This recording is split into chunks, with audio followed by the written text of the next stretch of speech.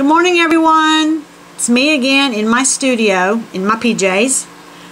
I had a little dilemma the other day. I was working on a scrapbook page and I could not find a chainsaw cut anywhere.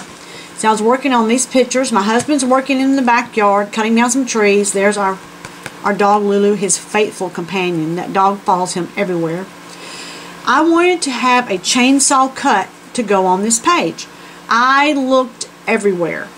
The Cricut stickers, I didn't find anything I liked, and I couldn't find any cuts on the Cricut at all, though I love, love, love my Cricuts. Um, the only saw they had was a handsaw. So, I decided to create a chainsaw with punches. And this is what I came up with. And today I want to show you how to make this. It's very simple, and it adds so much to this page. I just love it.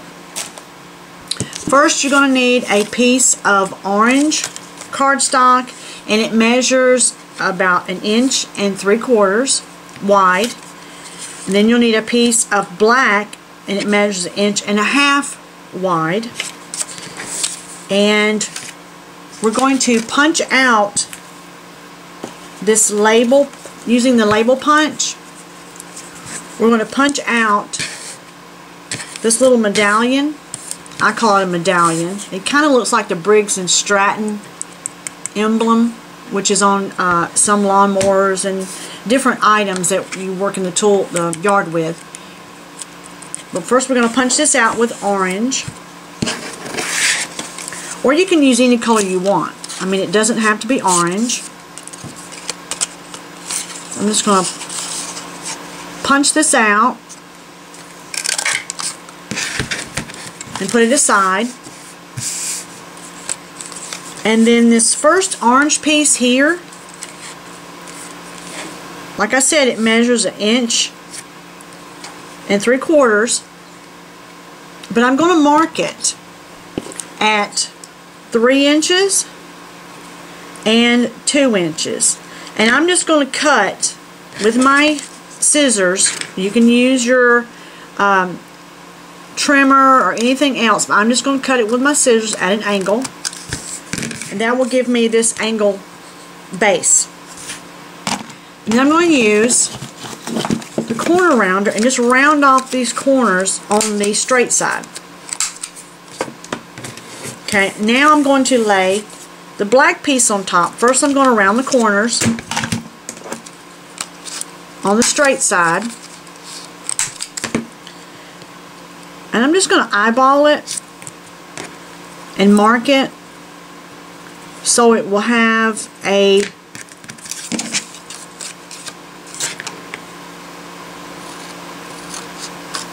oh what's the word? So it will have a frame of orange around it like that. So let's adhere that with some tape runner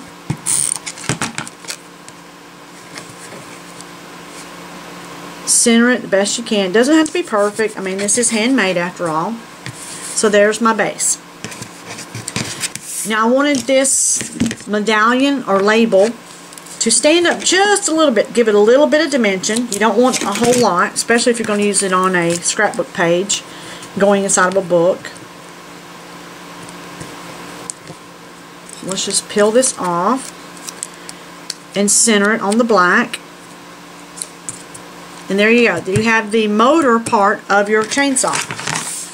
Okay, now we need to do the blade. The blade itself measures three and three quarters inches. I rounded the corners again on one side and that will make the end of the chainsaw. Now to get these sharp points on the chainsaw you can use any punch, border punch that you would like to get a sharp point. But I love this fence from Martha Stewart. It looked like a chainsaw to me because a lot of the chainsaws have these sharp points. So I just simply used a darker gray and punched along the edge of a piece of paper, lining it up as I went until I got a piece that I thought would measure all the way around that blade. and I went along the side of an eight and a half sheet of paper and it went all the way around. So here's my piece of punch that I've already cut out. Piece of paper that I've punched, I should say. And to make it go around this circle end, around the curved end, you need to give it a little divot so the, the paper has a little give to it. First I'm going to trim off a lot of this excess. We do not need all this.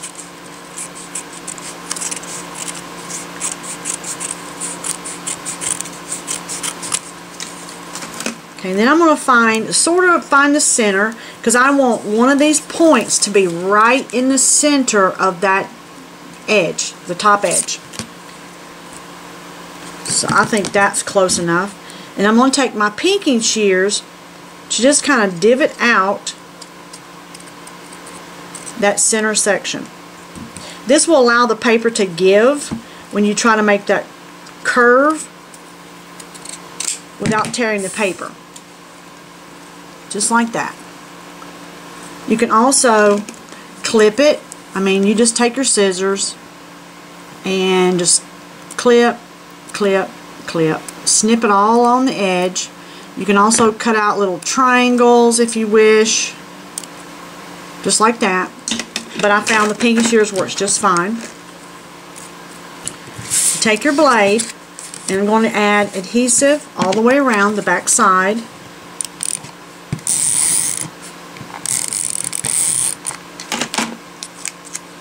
and I'm starting in the middle and I'm going to lay that center point right on that edge.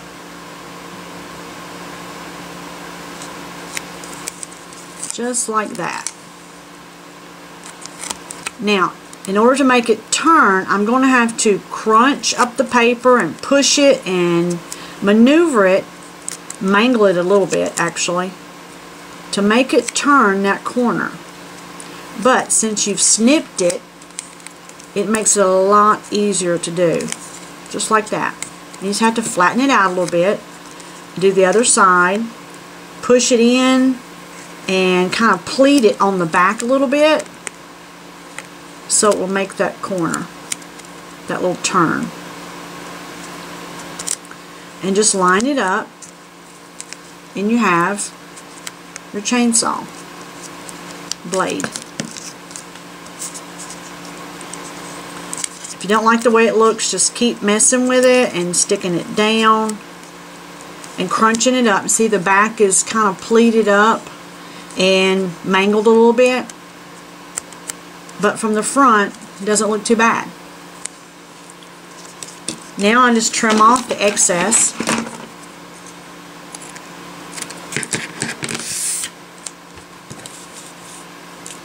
and adhere it to the base. Put a little adhesive on the slant side and just kind of make it straight. You don't want a crooked chainsaw. There you go. There's the base of the chainsaw. Now we need handles. Can't run a chainsaw without handles. So with this little piece of black, I need to make this first little curved handle. And I need to make a frame using two oval punches. First punch with the smallest oval right in the center. And if you use the next size up, center it, and you'll see a nice little frame right in the middle of paper and punch. And there you have something that looks like a handle.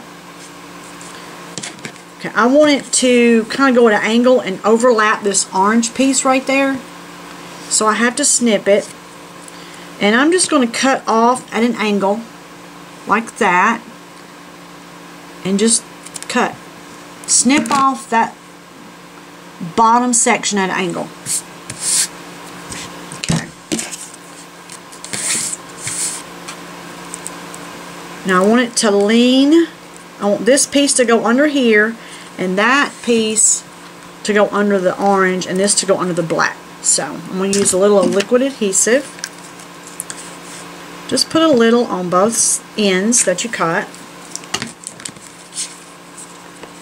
And just kind of stick it in there. As far as you want, or as little as you want. Till you get the handle to look the way you want it. Good thing about clear adhesive, it will dry clear. And there's your first handle. Now we need the back handle because you can't run a chainsaw with one handle. So you need a scrap of the base color, which was orange. And I'm first going to, again, make a frame. And with my Creative Memories square punch, use the smallest end first and then push it down and you'll see there's a nice little frame right there. So I'm going to punch that out. And there's my handle. No need to cut this one. You just kind of put some adhesive on the back. Or I should say the front, on one end. And then place it on the back of your chainsaw. And there you go. You have a chainsaw to go on a page, a manly page, for any scrapbooking, card making, any man would love this. Now the back's kind of messy, but once you glue it down, no one's going to see that. But I wanted to make a few of these to give away as gifts or um, to my scrapbooking group maybe, if they would like. So I took a scrap piece of paper and just made the strip a little bit more narrow than the blade itself, rounded the corners, and then adhered it to the back. And I also did it in red. So we have orange and red. You can make it any color you want. My husband's chainsaw just happens to be orange. And I hope you enjoyed this and play with your punches. You never know what you might come up with.